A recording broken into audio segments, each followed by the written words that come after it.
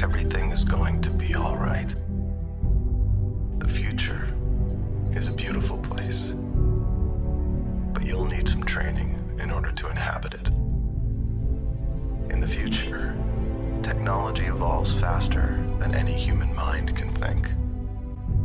When the singularity occurred, we became like gods, able to create entire worlds in the blink of an eye.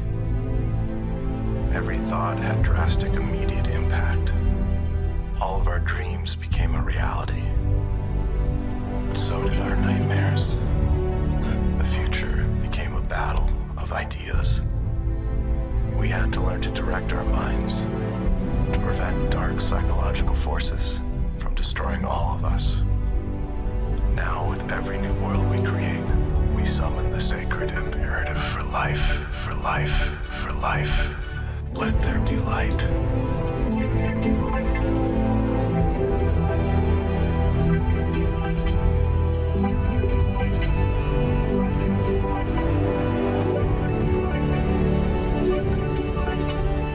How can we be from the future, you might ask? Let us explain. Plants harvest light with near perfect efficiency. But this is impossible under classical physics. Along the way to the photosynthesizing core, photons of light should collide with other particles. But they don't. A photon reaching the core is as likely to succeed as you sprinting blindfolded through a dense forest, reaching the center without striking a single tree.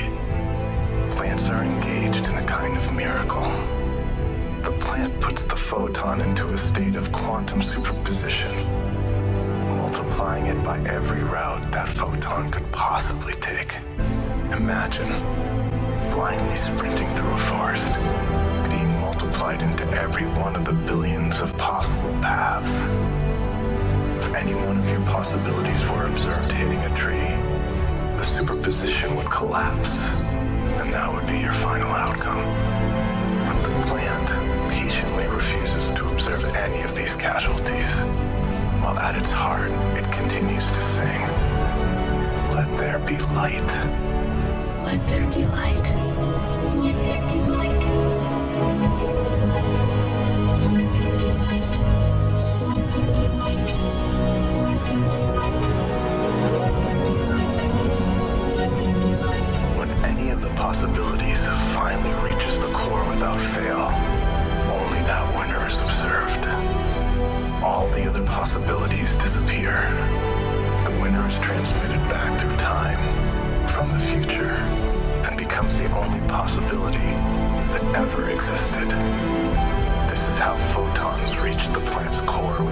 Precision.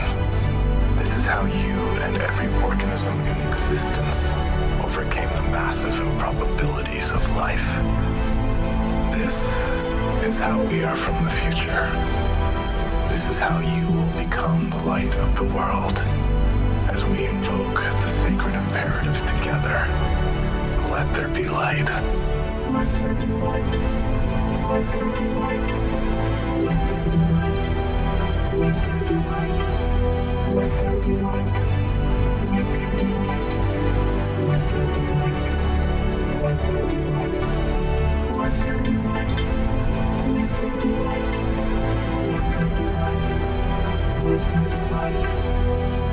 you.